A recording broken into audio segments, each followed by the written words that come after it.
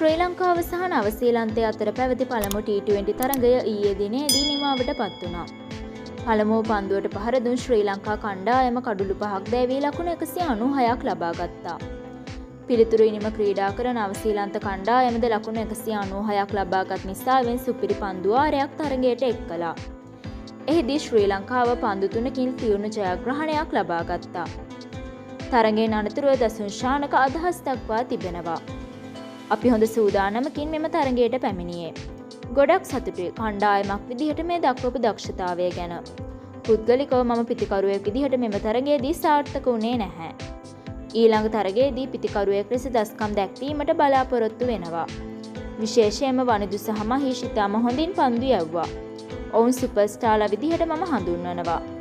අපි නවසීලන්තයේදී T20 තරගාවලියක් දිනල නැහැ. ඒ නිසා තරගාවලියක් ජයග්‍රහණය කරන එකයි අපේ බලාපොරොත්තුව.